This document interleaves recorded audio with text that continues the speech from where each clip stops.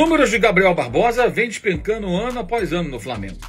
É claro que não só os números podem, é, devem ser utilizados para avaliar o desempenho de um jogador, mas eles ajudam bastante. E no caso de um artilheiro, a queda do número de gols e o maior intervalo entre os gols, ou seja, quanto tempo precisa para marcar um tento, isso pesa bastante. Em 2019, ele marcou 25 no Brasileiro, em 2020, 14, 21, 12 e em 22, 11. E nesse campeonato atual só fez 5 gols. Em 2019 era um gol a cada 102 minutos, 2020 127, 2021 124, 2022 um gol a cada 187 minutos. Agora, em 2023 ele marca um gol a cada 287 minutos. Mesmo assim, o Flamengo está prestes a renovar o contrato do Gabriel Barbosa, dando aumento de salário. Você consegue entender esse raciocínio? Eu acho bem estranho. Não faz muito sentido. Desempenho caiu, vai ganhar aumento? Tite vem optando em começar com Gabriel no banco de reservas e na coletiva de ontem falou sobre uma falha cometida por ele e também por Bruno Henrique. Psicológico também. O Flamengo acaba se desligando de algumas partidas. Você concorda e principalmente como corrigir esse problema às vezes psicológico? O jogo de futebol apresenta diferentes fases. Tu falou, e não, não foram os termos que eu usei. Desligar eu não usei e nem termos psicológicos. Eu disse que tem, tem que absorver, porque o, o, futebol, tal qual um outro esporte, eu uso até o, o, o boxe como exemplo, quando tu, tu, tu, recebe um jab, alguma coisa, tu traz para trás, tu te volta, tu te resguarda. Você é específico para futebol. Tu toma um gol, fica com a bola. Fica com o controle, fica com o domínio.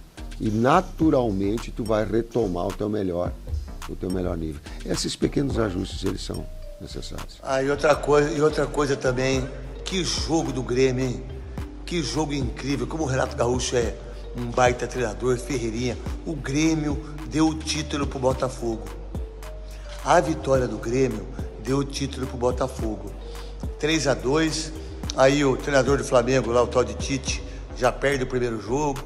Aquelas conversas mole. Parabéns, Renato Gaúcho, maior ídolo do Grêmio. É nós, Grêmio. Flamengo ontem do nada, deu um apagão. E assim, nessa altura do campeonato, isso não pode ser normalizado. Não vou botar a culpa no Tite, porque o Tite ele tá trocando o pneu com o carro andando. E assim, a gente olha o Flamengo e a gente não vê uma perspectiva no time. A gente olha o Flamengo e a gente não parece que não vê uma vontade, parece que sei lá, cara, o que está acontecendo com o Flamengo esse ano. Eu não sei o que está acontecendo com o Flamengo esse ano, cara. Rapaz, é um negócio que você olha e você não consegue entender, cara. Na moral, eu tô olhando e eu não tô conseguindo entender o que tá acontecendo. Ontem, a gente vencia o jogo por 1x0 com um minuto de jogo. Um minuto de jogo. Uma bola do Cebolinha, o Cebolinha foi bem no fundo, voltou pro Arrascaeta, ele bateu cruzado, o Gerson entrou e abriu o placar com um minuto de jogo. Aí perdeu o gol. E a situação é a seguinte, para eu poder explicar para vocês. É, o, o Gerson perde o gol numa boa jogada do Cebolinha. Logo depois o Flamengo vai lá e começa e con consegue construir uma jogada e consegue fazer o gol.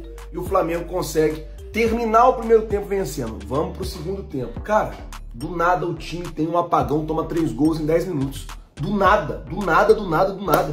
Depois até consegue fazer um gol. Legal que foi o Luiz Araújo, fez o primeiro gol dele camisa do Flamengo, mas já não adiantava mais de muita coisa.